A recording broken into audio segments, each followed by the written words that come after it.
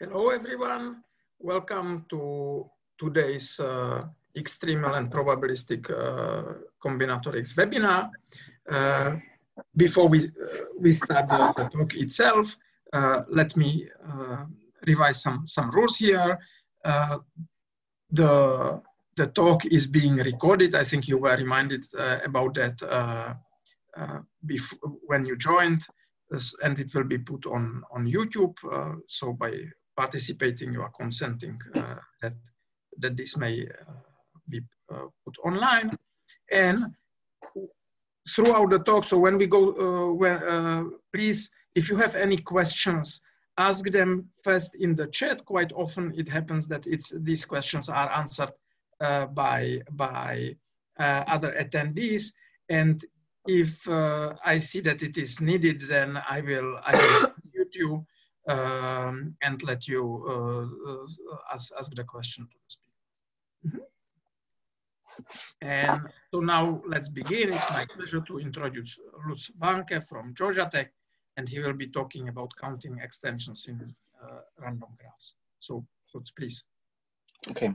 Yeah, thank you um, for the invitation and the chance to speak here. Everything I'm going to talk about today is uh, joint work with Matas Sileikis from Prague.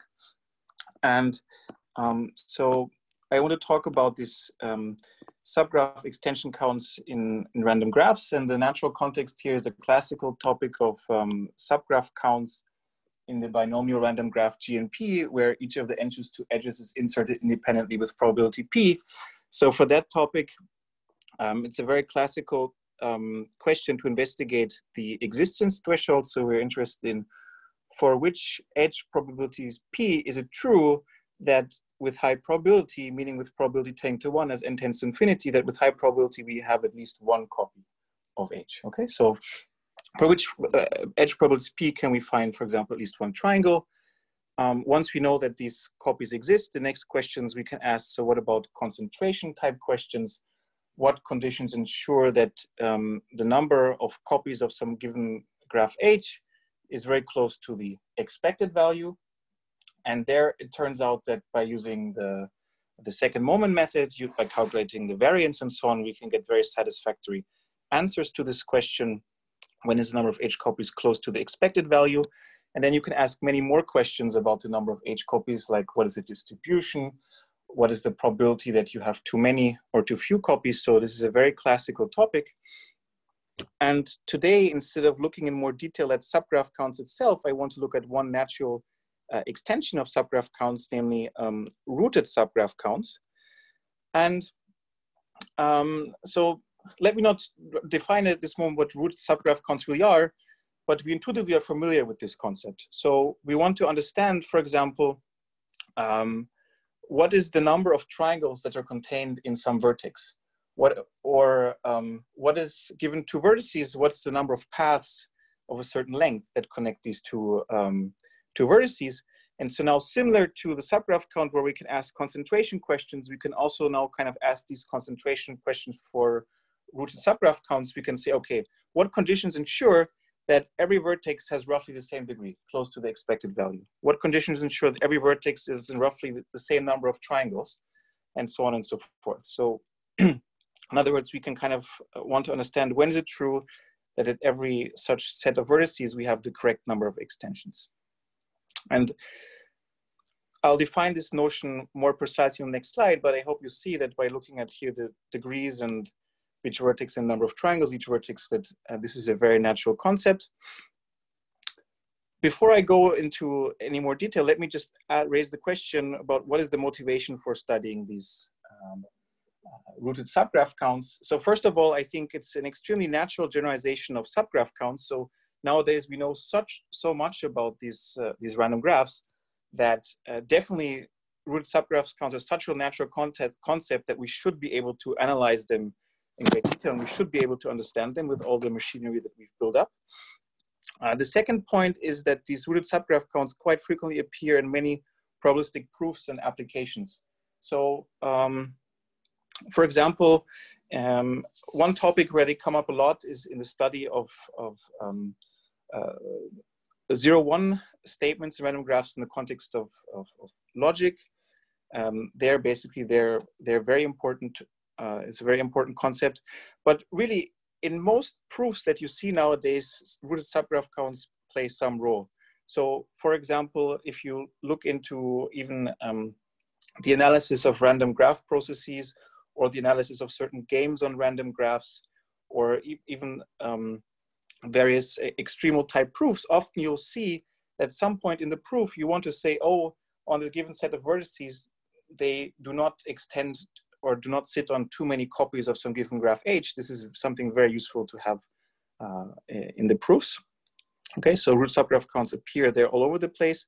And finally, um, they're also a very natural test bed for, um, for concentration inequalities, because one way to at least get some sufficient conditions on, on, on these uh, rooted subgraph counts is by using a union bound plus concentration uh, inequality. You, the simplest example would be here when you try to understand when does every vertex have roughly the same degree, to get a sufficient condition, you just do a union bound over each vertex and apply Chernoff bound to the probability that one vertex has um, too few or too many um, neighbors.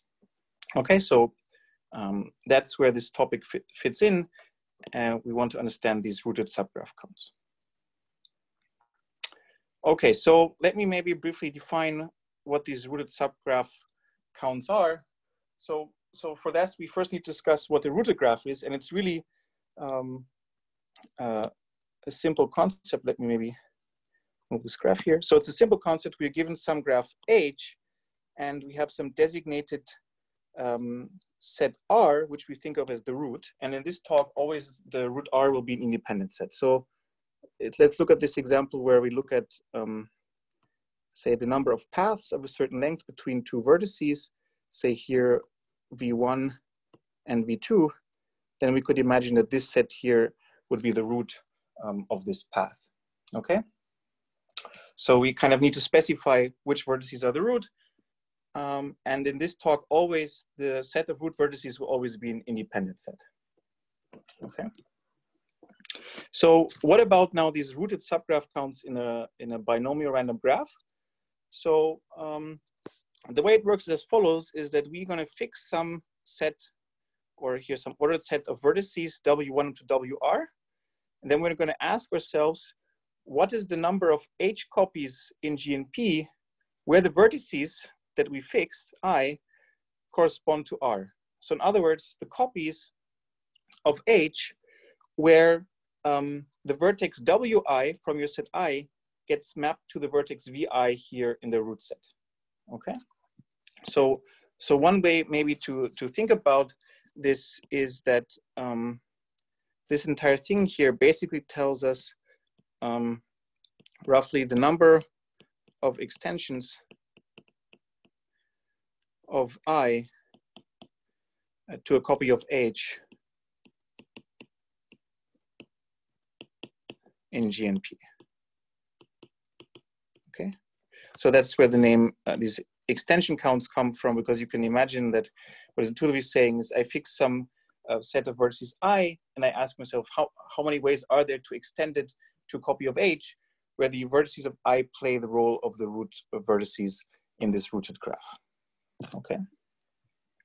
So I think it's best to to study these definitions through a, through a few um, few examples. So here um, I prepared a bunch of um, four examples. So again, always the root will be denoted here by this by this circle. Okay, so we have this this first example here where we have this this path of length two rooted at the end vertices, and uh, what does now rooted subgraph extension count mean? So if we look at, say, um, XRH of, say, two vertices, okay, so in this case, I will consist of two vertices because we need to find where to put the, the roots. And well, what is that? Well, that will just be the codegree of W1 and W2, okay? So for this particular rooted graph, if, if we fix some vertices W1 and W2 in our random graph, then this random variable is just the codegree of W1 and W2. The next example is we have, we have um, this rooted graph here. So it's a triangle rooted at some vertex. And then exactly here now the rooted um, extension counts will just be the number of triangles.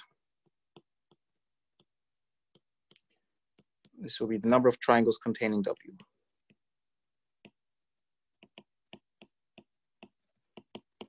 Containing um, W1. And let's maybe do, do two more examples here. We have this, this, this path, which is rooted at the endpoints, and it's now exactly the same story, XRH of W1 and W2 is just the number of paths of length four containing W1 uh, and W2 as endpoints. So number of paths, we'll say length four, connecting um, W1 and W2. Okay. Um, let's do one degenerate example. Suppose I give you some graph H and I'll just use the empty root. Okay. So it's kind of like a little degenerate case, but the idea is that if we look at, um, we don't specify any vertices as the root in our graph, then we exactly reduce just to the normal subgraph counts notion, okay?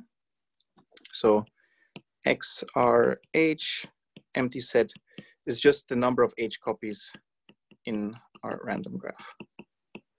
Okay, so you see immediately that this rooted notion also extends the, um, uh, the, the classical notion. Maybe to further get familiar with this notion, let's quickly also calculate the expected value. Say that expectation um, of this random variable here. So um, just to fix notation, let's say that this is the expectation I'll denote by mu um, subscript RH. So let's write for the expectation of this random variable. Okay, so here um, note that this expectation does not depend on the particular choice of i, because by symmetry, every every set uh, of vertices plays the same role in our in our random graph. So what is the, so what is the order of magnitude of this quantity, okay? So the order of magnitude we can calculate for, for a fixed i exactly the same way we do for normal subgraph counts. We, well, we fix the root, then we need to choose some vertices outside, in this case, VH minus VR many vertices outside. And then we need to ask ourselves, okay, um, we need to still place all the edges in there, and then we get an additional factor of p to the eh. Okay, so note that here we do not need to subtract anything because we assume that our set R here was an independent set. Okay, so this is just to get an idea of uh, what's the expected uh, order of magnitude of this quantity. Okay, so what is the goal? So as I mentioned before, the goal is kind of to say once we fix some rooted graph RH, we want to say that no matter at which set I we look at, we always get the, the correct uh, number of copies there. So, so if, for example, this would be our example where we look at the triangle rooted at the vertex, then what we want is that every vertex sits in basically the expected number of triangles up to some small error term, okay? Or if, if um, uh, here we would look at an edge rooted at a vertex, then this would just say every vertex has approximately the same degree. And so this was a notion that was studied by, um, in some paper by Shelah and Spencer, and then also by, by Spencer in several single author papers. And basically Spencer derived sufficient conditions which ensure that you get these kind of concentration results. So here, um, in this talk, for the moment, I want to focus on one important special case, which is some notion of, of uh, strictly balancedness. So in the context of normal subgraph counts, there's some notion which tells you, um, well, the graph is not too weird. Okay, so just take my word for it.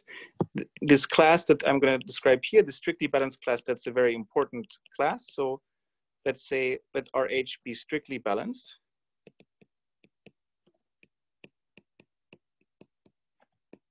And just for now, think of it, it's a, it's a nice rooted graph. And what he showed um, in this paper is that for all epsilons, say in 0, 1, there exists some constant k, which here can depend on epsilon, r, and h, such that if we look at the probability um, that all of these extension counts are what they should be. So here, plus minus epsilon times mu RH.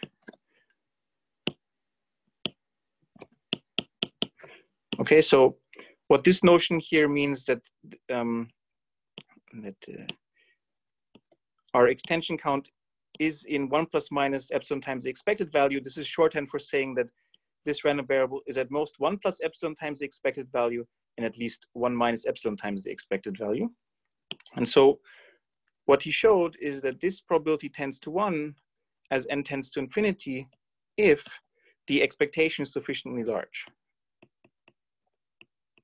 So if this expectation is at least this constant times log n, okay?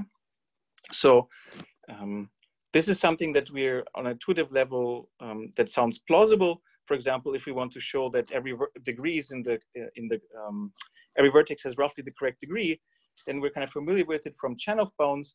And um, the expectation should be sufficiently large, and typically we should get some kind of extra logarithmic term, which corresponds to some uh, coupon collector type uh, phenomena, because we want to make sure that at every vertex we get the correct count. Uh, and so um, one can prove such kind of one statements. Typically, you will prove them by using some union bound argument over all possible choices of these uh, root vertices i, and then multiply it with the probability that you have the wrong uh, count at one particular choice of i. Okay, so, so this is the, the statement that he made for the strictly balanced case.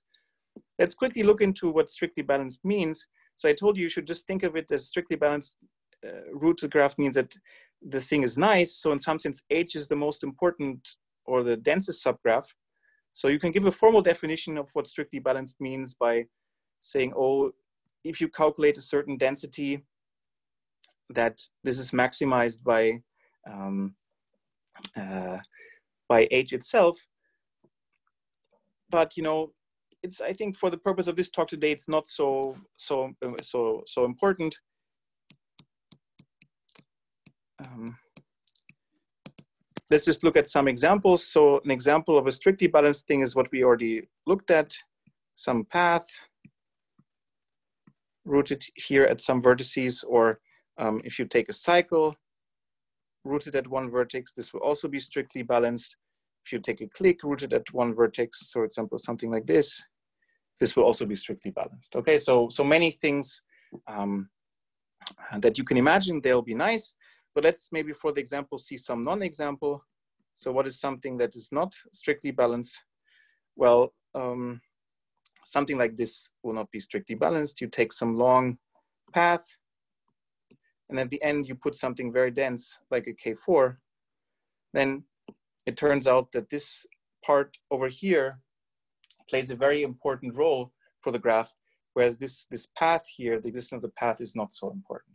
Okay, so this is kind of an example of a graph that is not strictly balanced. Okay, so, so as I said, Spencer proved some general conditions which ensure that, um, uh, that you get at every um, i the correct number of extensions. And basically his question was, is, are his uh, conditions um, best possible? So is this sufficient condition? Um, condition best possible.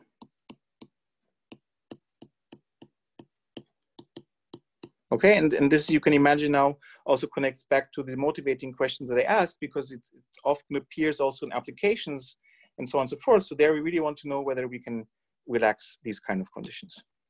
Sorry, Let me maybe- Can I, can I interrupt? So you Yes. were drawing these examples of uh, strictly balanced and unbalanced graphs, and but you were drawing them with roots, but the def the root is uh, not in the definition, is it? Oh, I I see. This this G here should be R. I apologize. Ah, um, okay, thank you. Uh, sorry.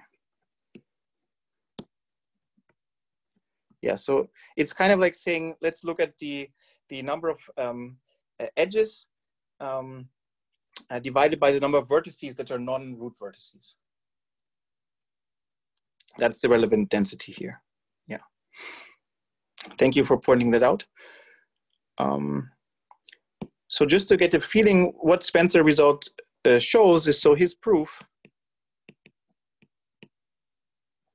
shows that um, k tends to infinity as epsilon tends to zero, okay? Um, and so as you can imagine now, what, what we did is we tried to understand this question and um, let me tell you um, what our answer looks like here in the strictly balanced case.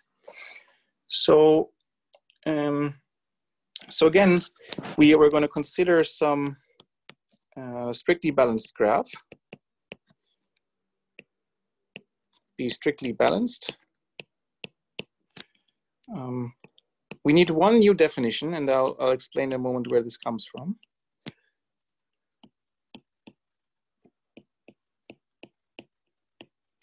Okay, so what we here, in addition, insist that the thing is grounded. And grounded is kind of just saying the thing is not degenerate. So we want that there's an edge which connects the root with the remainder of the graph. That's all that we're requiring, okay? So, so what this is saying is that um, if you look back here into the definition of these rooted graphs, I'm just kind of saying, oh, something like this is also a valid rooted graph, but it's kind of boring, right? Because if we have a root here at this vertex, then basically what we're looking at is just almost the number of triangles in the graph. And the rooted thing is kind of just a, um, a technical thing. Okay, so think of ground as just saying it's, it's non-degenerate. Then what we show is that um, there are some constants, say alpha, c, big C bigger than zero, such that for all epsilon that are not too small, say in n to the minus alpha and one, that the following is true. So we get some kind of threshold result. So what we can show is that the probability that all the roots are correct, so that they're in um, 1 plus, plus minus epsilon times the expected value. That this, as n tends to infinity, goes to two things. So either 0 or 1. And the condition that we get here is um, if epsilon squared times the expected value is at most some small constant times log n, then we get the zero statement. And if um, epsilon square times the expected value is some big constant times log n, then we get the one statement. Okay, so what this is kind of giving us is some kind of um, uh, threshold result, which says that, oh, well, if the epsilon squared times the expected value is sufficiently small, then it's not true that um, at every set i, we find the correct number of rooted subgraph extensions. Okay, so uh, whereas if we're just a little bit larger, so we, we go from this small constant times log n to this big constant times log n, then it's true that at every set i, we find the correct number of extensions. Okay, so, so one could say that this really kind of describes some kind of threshold uh, result. So we can say that this gives um, threshold, threshold um, for the concentration of these subgraph counts of say, or let me call them extension counts. Um, I want to already make at this point one remark. Um, so what is the main contribution here really of, of our result? So the one statement which says that, oh yeah, under if this condition is true, then it's true that everywhere, for every choice of i, we get the correct number of extensions. Well, that's kind of nowadays uh, not too difficult. You do some kind of union bound over all possible choices i and ask yourself, what's the probability at one particular set i you have the wrong number of extension counts? So our main contribution here was to add this zero statement to find a, way to prove this zero statement, which tells us that um, if epsilon squared times expected values is not too big, then we can find some set i where we have the, the wrong number of extensions. Okay, so we can say main contribution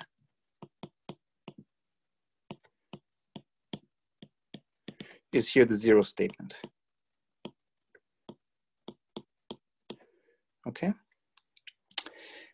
And you might wonder now, so um, so in this statement here of this of this theorem, I made this extra assumption that the thing is, is grounded. So what about the ungrounded case? Well, let's quickly think about it. Ungrounded case. So I claim that in some sense this is a degenerate case where um, what we're really looking at is just the number of copies of H without the root. And um, the example to keep in mind is, is, for example, this example, you root at one vertex, and then you look at um, some triangle uh, outside. If you check the definition, then this will also be strictly balanced under this definition for, for rooted subgraph counts. Just take my word for it. But I hope it's intuitively clear that if we look at what's the number of, of, of triangles which do not um, include one particular vertex here, well, that's roughly the just the total number of triangles up to some small error term. Okay, so the situation changes. Um, in this example, we just have roughly the, the triangle count and also the conditions change. So if you look at the same um, statement as, as up, up here, then wait, let me quickly change the color here. Um, then what, what happens is that we again get some threshold behavior, but we don't need the log term. So here we get zero, one, but now the conditions change. So here we get that the condition is just epsilon squared times the expected value either tends to zero or tends to infinity. Okay, so, so the key difference is that in this ungrounded case, we do not need this log factor as in the grounded case. Okay. So by dealing with all these cases, now we really managed to answer this question of Spencer, which, um, which was asking under what conditions,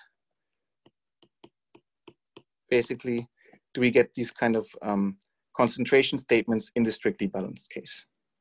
Okay, so if you, if we go back to his statement, then basically um, what our result shows is that for the constant k in his result, the correct behavior is um, that it scales like um, order epsilon to the minus two. Okay, so this is one way to interpret our result. Okay, um, this would be an excellent point also to ask uh, ask questions. I, will maybe uh, wait for a few seconds if there are any questions in the chat.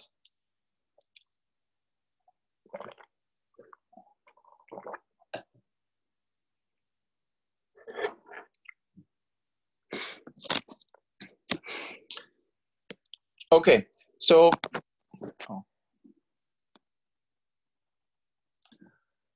okay, so one question that was asked by um, by Shavnik in the chat was in the zero statement, do you get sets with too few copies or too many? So um, in the proof that we um, that we the, the proof we wrote down, we find uh, too many copies um, uh, in in the range that we oh no okay I, okay, I take that back. So in some range of the parameters, I can guarantee that we find too many, but, but not in general. So there are some ranges of the parameters where I cannot guarantee that we have too few or too many. Um, uh, yeah.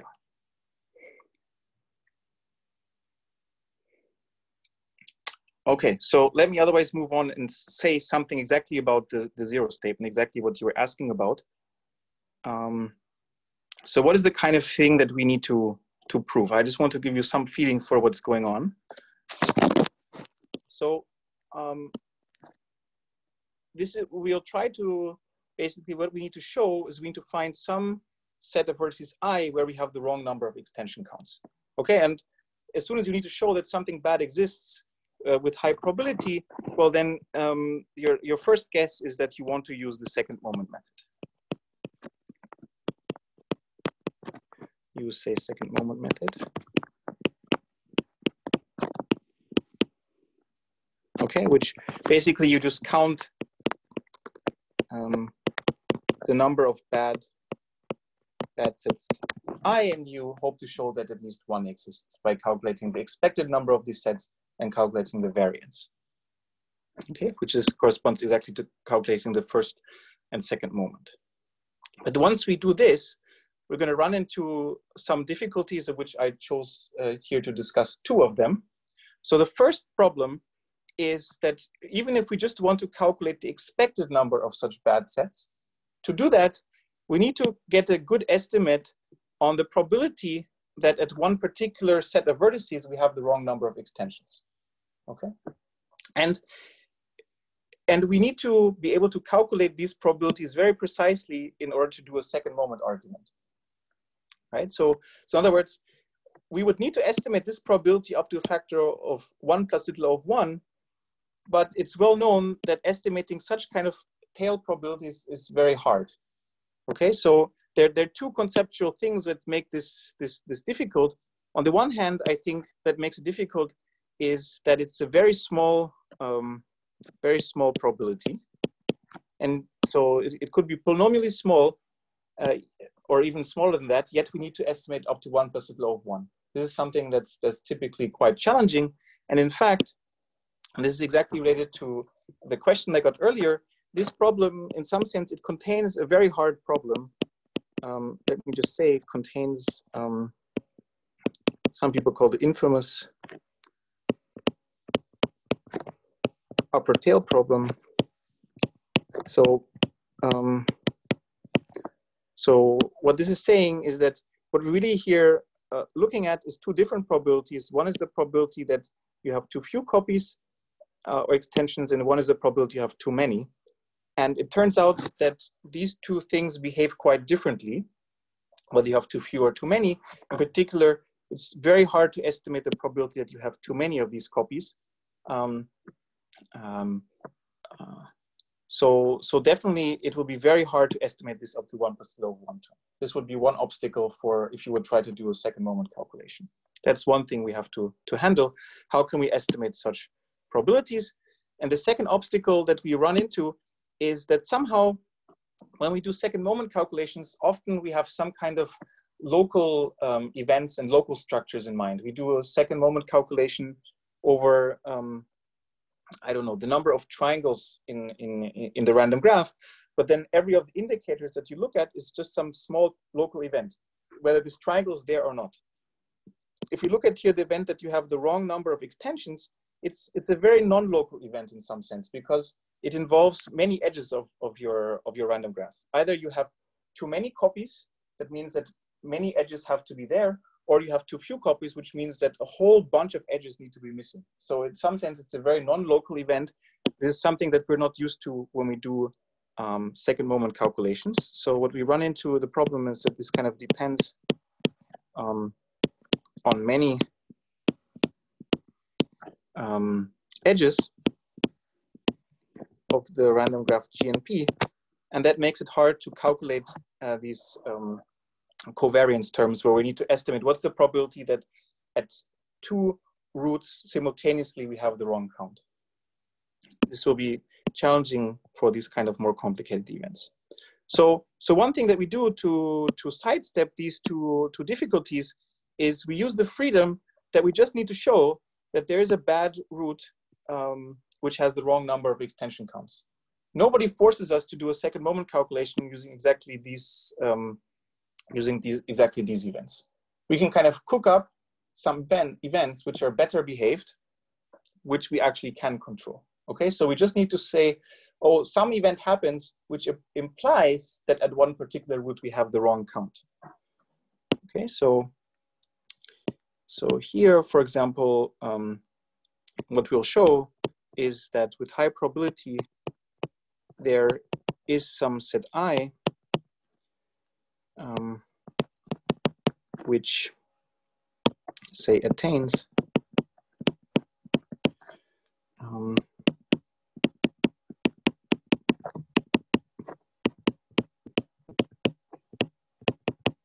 say exactly one plus epsilon times the expected number of many copies due um, to, in this case, uh, the range where I, where, what I wanted to mention here um, is um, due to, say, extensions.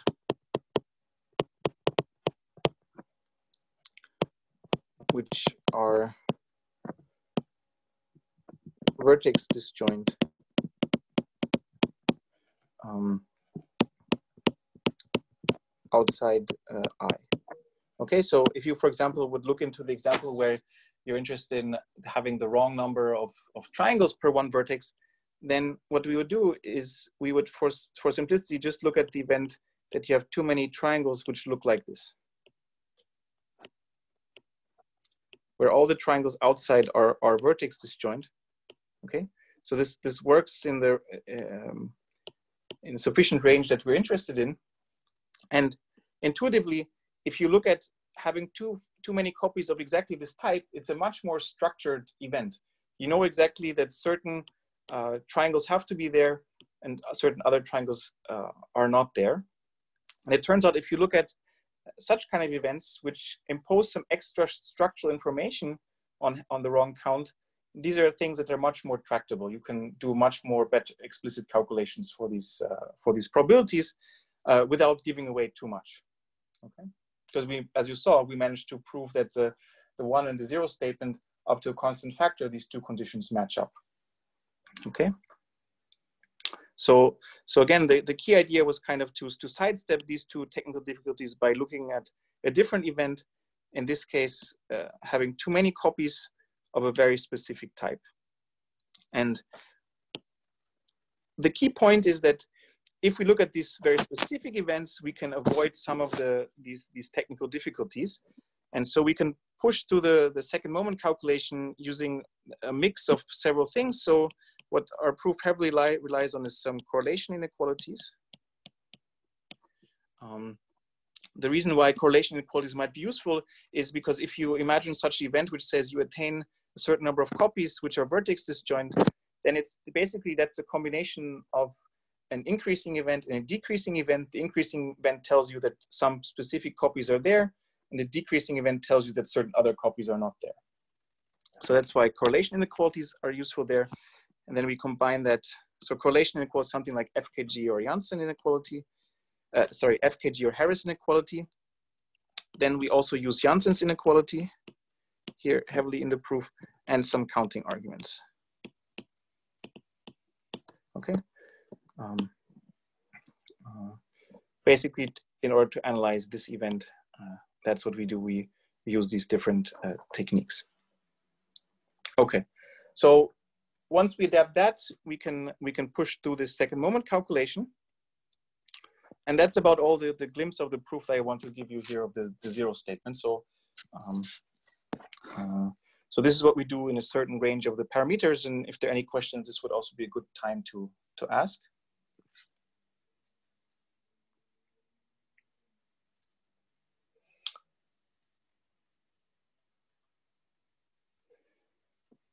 Okay. So uh, um, let's quickly go back to what was our main result. So our main result was related to the strictly balanced case. Um, and now our, in our paper, we also have some other results when, when these, some partial results uh, for other graphs that are, the graphs are not strictly balanced. Let me just show you one which I find um, interesting. Okay, so looking at the general case, we want to drop the strictly balancedness condition. And so what is very natural, and this is something that we're, that's also done in the context of subgraph counts, normal subgraph counts, if you, um, if you want to, to, consider the general case, suddenly not only the structure of the entire graph matters, but somehow you need to look at all subgraphs. And um, so in the rooted case, again, we can look at this example where we root at this vertex. So we have this long path where at the end we have this K4. And then intuitively, you could imagine that clearly the fact that we have this K4 here is very important. We need to take that into, uh, into account. And in fact, it'll turn out that basically the K4 is much more important than this path. Okay. And one convenient parameter here is just to introduce some parameter phi, which is um, the minimum over all, uh, over all these expectations where instead of the root r, use something larger that sits between j and h. Okay, so it's kind of like saying, oh, suppose I replace the, uh, the root r uh, by something larger. Okay, so using this, this parameter, just believe me that is an important parameter, we can now, let me just tell you what some approximate result would look like. So um, suppose we, again, we look at uh, rooted graph, uh, rooted subgraph. And to not, you know, um, deal with too many degenerate cases, let's make some mild assumptions on P. So um, just I don't need to write any extra conditions here. So let's just say that P of n satisfies two things. So we want once, let's, let's not worry about when P is very close to one, then we need to write some extra technical conditions. So let's just ignore that. So let's suppose that P is not too close to one. Um, and let's also assume that this phi parameter, that that tends to infinity. Okay. Um, this is just some, some, something that will be uh, very convenient. Um, it's not a big restriction, take my word for it. So the statement here is that for all epsilon that are in zero one, we again get some approximate threshold statements. So remember, what was the thing that we're after? We wanted to say that for every choice of these um, vertices i, we have the correct number of extensions. So we were interested in this event. We have close to the expected number of, of extensions. And so here, some approximate statement is something like this if epsilon squared times this phi parameter tends to zero, then we get always the zero statement. And if epsilon square phi is at least some polynomial thing um, in n, then we always get the one statement. Okay, so imagine this is uh, n to the delta for any delta. Okay, so so what this is kind of saying is it tells you approximately where the threshold is. It's somewhere between either epsilon squared tending to zero and epsilon square phi, some polynomial thing um, that slowly grows uh, some polynomial. Okay, so this kind of tells you that approximately where this changes from zero to some small polynomial, somewhere there lies the threshold where you go from the zero statement to the one statement. Okay, so there's some kind of uh, approximate result. And note that in this result, we have no assumption on epsilon no assumption on epsilon, Well, let me say no assumption of form epsilon at least n to the alpha minus alpha is needed. Okay, so this is in contrast to our previous result. Okay. So now, as you can guess, what is the obvious open problem now? The obvious open problem is now to close this gap.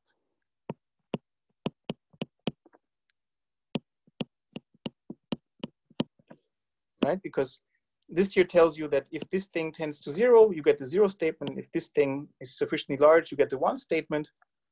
So, but what we really want to know is we really want to know what is the correct condition for these zero and one statements. Clearly, this brings us close, but it might not be the, the, the, the, correct answer. Okay. So, um, so I think I have just a few minutes left. So let me just say one or two two words about um, uh, about this this this problem, and I want to, kind of just give you some indication that might not be um, that might be tricky. Oh, okay. I apparently made an error in the definition of of of phi here on this slide. Um, Okay, Th thanks, Matas, for pointing this out. I'll, I'll correct that in the slides later. Okay, so um, so the the main open problem here was to determine the correct zero and one statements, and uh, so now you can make a lot of guesses. What should be the correct um, the correct zero and one statement? So one thing that's very natural to do is remember um, Spencer, I said that Spencer actually had some sufficient conditions for the general case, right? Whereas beforehand we just discussed the strictly balanced case. So the first thing one should naturally try to do is go back to that paper and see how does he prove the strictly uh, the, the, the, general case and check whether that gives the correct conditions in, in general. And so um, let's look at this this small example here. Let me just give you a flavor of, of what Spencer would, would do, or this, this proof of Spencer would do. So um, Spencer, say, reduces to the strictly balanced case by requiring two things. Um, one is that, so let me maybe explain first in words how what, what he does. So it's similar to some decomposition idea that's used in subgraph counts. So he would first think, imagine that you first extend this vertex here to a copy of K4. And then what you do is for every of these four vertices, you're going to ask yourself how many, how many of, sorry, how many of these, these extensions do you have here? Okay, so if you can prove that every vertex is in the correct number of K4s, and for example, that every codegree here has the correct number of extensions, then you, you get, you can also show that this uh, entire rooted graph has the correct number of extensions. So let me maybe just in sloppily write it like this. So he would assume that every vertex um, is in approximately, well, we think of V as the root. So as is roughly the expected number of K4s. And then he would, in addition here, say every pair of vertices vertices has codegree.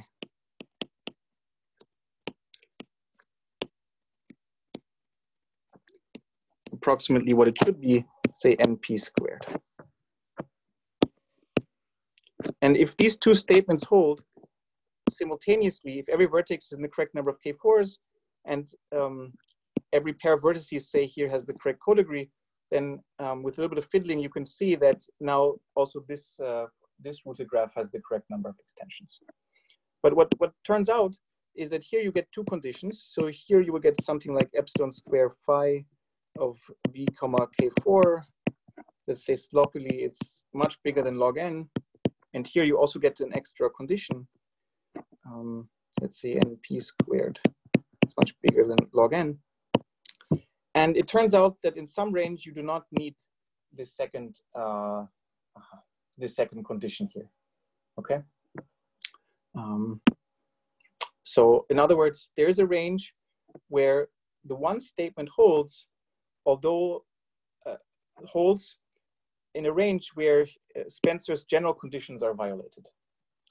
Uh, it's not so easy to explain exactly um, the details of this counterexample, but the, the moral of the idea is the following. What you do here is a union bound over all vertices. And what you do here is again a union bound over certain vertices. But it turns out that in some range of the parameters, in some range of the parameters, if you look at how these K4s evolve, um, they will mainly, sorry, if you think of,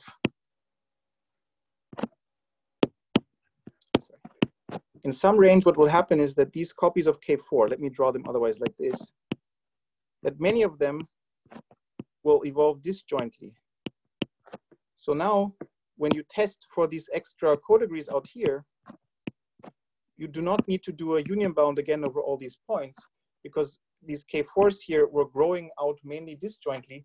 That means that when you look at the event that you have too few or too many um, extensions over here, um, what you're having is many actually independent events. So you do not need to do a union bound here for, for every uh, of these K4 copies. But okay, maybe that was now um, uh, a little technical, but just take my word for it that there's something inefficient in this general idea of always reducing to the strictly balanced case because in this decomposition where you say, okay, let's first every vertex in the correct number of uh, k4s, and then every pair of vertices has the correct codegree, there's some inefficiency in the union bound that is used. Okay, so basically you can get rid of the union bound here of the second case in some range of the parameters. The second example is my favorite, or perhaps was for a long time my favorite conjecture here that um, there should be a way, there should be a way to improve this, this, this condition, this one statement condition. Okay, so here we say epsilon square phi is at least n to the omega of one. And there are several uh, reasons that would let you believe that this n to the omega 1, one should be able to replace it by something like much larger than log n. Okay. Um, part of it comes from some uh, normal uh, heuristics, but it turns out that this is also wrong. So there is a counterexample which tells you that even if epsilon square phi is much bigger than log n, uh, there is an example where still the zero statement holds. And it's a minor variation of the graph that we've seen above here. So we, we have the details in the paper, but so it's this graph here. It's the same graph basically as before. We have here this copy of K4, but now instead of having this one codegree out here, we have these two codegrees out here. Okay.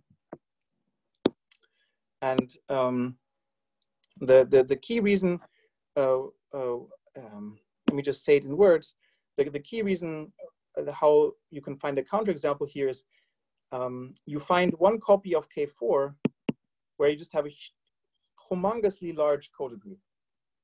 Okay.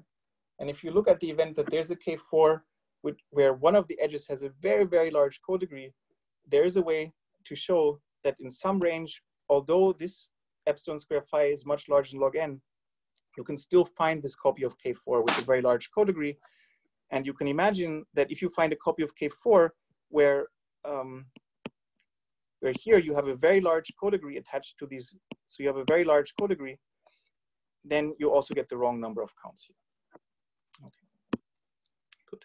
So the main message of these two guesses was that it seems to be tricky to guess exactly in general what the correct answer is. So, you know, you're, I very much invite you to try your own ideas and conjectures here I, I think it would be really nice to make some some some progress here because um, uh, most of the the things here that um, uh, that Matas and I, I, I tried, we usually in the end managed to find a counterexample.